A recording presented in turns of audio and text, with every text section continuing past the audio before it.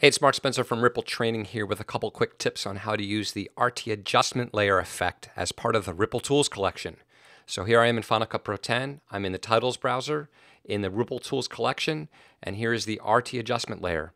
The way to think of the RT adjustment layer is kind of like a container for adding color corrections, effects, and transformations that can be applied to multiple clips at the same time. Now, a lot of these things you can do in other ways in Final Cut Pro 10, but this gives you uh, some interesting alternatives for doing this type of work. So, for example, what I'm going to do is uh, move my playhead over this clip, hit the X key to set a range, select the RT adjustment layer in the titles browser, hit Q, and then I'm actually going to extend it over both these clips because a big thing about the RT adjustment layer effect is uh, it affects anything underneath it. And that's true with all the Ripple tools, but with this one in particular, you can do some interesting things. So I'm going to select it. Let's just look at these two clips. You can kind of see what they look like in the thumbnails, but here's what they look like in the viewer. It's two shots of the same talent in similar lighting situations. So any color corrections we do to one will probably apply to the other one. So where you have multiple shots that you want to apply a color correction to, or apply effects or transformations, like you might want to scale them down to do a picture-in-picture -picture effect or something like that, uh, this is a great way to do it. Of course, you can always color correct a clip directly and copy paste attributes to paste those color corrections. And you can also copy paste attributes for effects. But this gives you an interesting alternative. So with it selected, if you go to the title inspector, normally with most Ripple tools, you do a lot of your work in the title inspector, and we do have some different things in here that you can do. Uh, but this guy's a little different because most of the time you probably won't use what's in here, at least on first pass uh, except you might want to click on the Quick Tips checkbox to get some ideas of how to use it. Here's some different examples that you can always access. But what I'm going to do instead is I'm going to apply a color correction to this actual title layer, not to the clips beneath it, but to the title layer itself, and it will affect everything underneath it. So what I'm going to do is go to the video inspector, then to correction one, and let's just do something simple. I'll go to saturation and I will desaturate this clip. So now we have kind of a black and white look. And maybe I'll also go to exposure and I'll kind of crush the blacks and bring up the whites, a little more high contrast look here. Okay, now that I've done that, if I move the playhead over the other clip, I've done it to both. So I don't need to copy paste anything. Doing this one time does it to everything at once, which is really kind of cool. So that's one example of something that you can do to the RT adjustment layer, but basically anything you do to it affects anything underneath it. So another example is adding effects. So I'm going to go to the effects browser and just there's one here called aged film. Maybe I'll drag that directly onto the adjustment layer. And then we kind of get this aged film look. You can see the lines and scratches there. I'm going to turn that off and do something a little more obvious. I'll take the one called aged paper and drag it onto the adjustment layer. And now you can see that aged paper effect is applied to both. So pretty straightforward. Anything you apply to this adjustment layer applies to everything underneath it. And of course, you can then stretch it across another clip and it will apply to that clip as well. Or you can bring it back. And uh, anything you do to those effects, for instance, this aged paper has an amount, you know, you could keyframe that to have it animate on or off just by setting keyframes for the amount slider.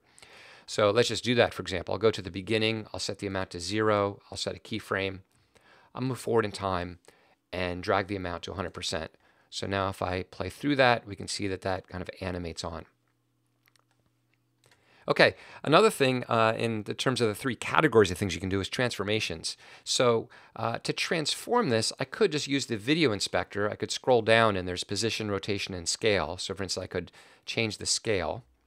I'll undo that. Uh, rather than doing that in the inspector, I can use the transform effect right here at the bottom left of the viewer, and then I get these little bounding box handles and I can click and drag. So maybe I want this whole thing to be over up to the left because I want some other content in here. I want to kind of do a picture-in-picture -picture effect. And now, of course, that applies to any clip. Let me just drag this over. So it applies to any clip that's underneath it. Very quick way to do this. No need to, you know, create compound clips or copy paste attributes or anything like that. It's just done. So once you've done something like this, at this point, you may, I'm going to exit the transform effect. You may want to go to the title inspector because there are some things in here that are useful. Uh, uh, rather than do those transformations there, we do have a scale control directly here. Now notice it's not scaling the clip, it's scaling the clip with inside the overall scale. So now I could change this position of the clip within uh, that little box that I've made.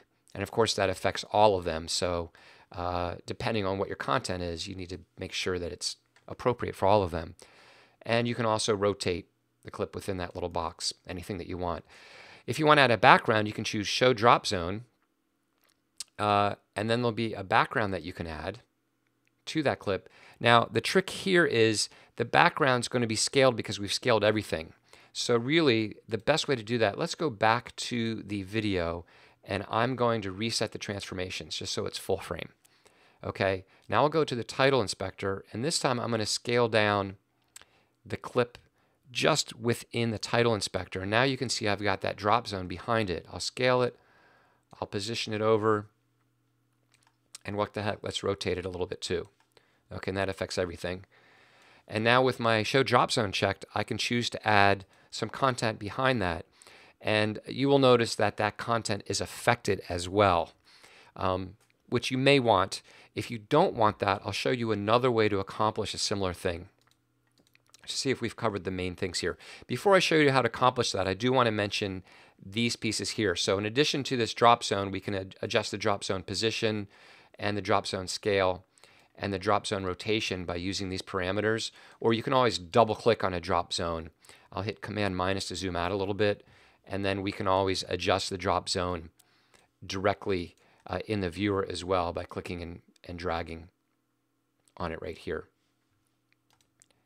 And I'll press escape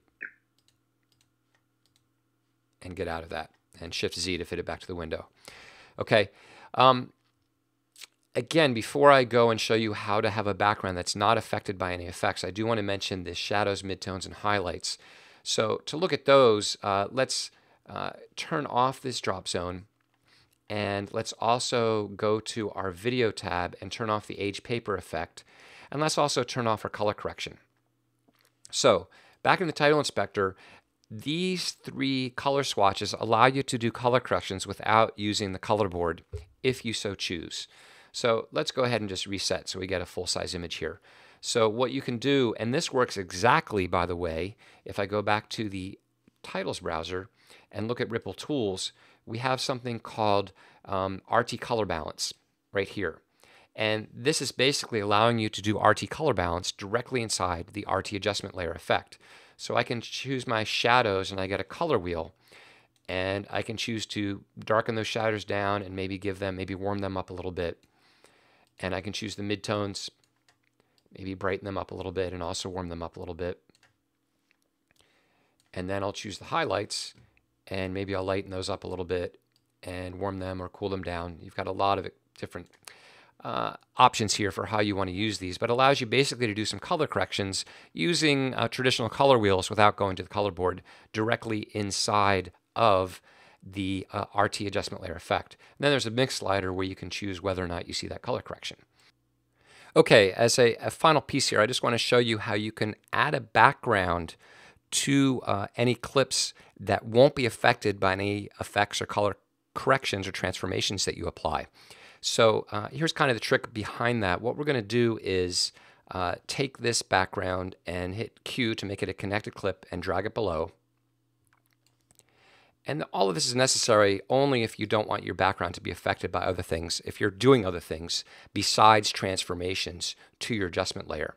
So right now, for example, if I scale down this clip, uh, it's also scaling down the background. Uh, you can't tell because you can't see the background, but if I select this clip and press V to disable it, there's that connected clip underneath it. So anything I do to this adjustment layer affects everything underneath it which is often what you want.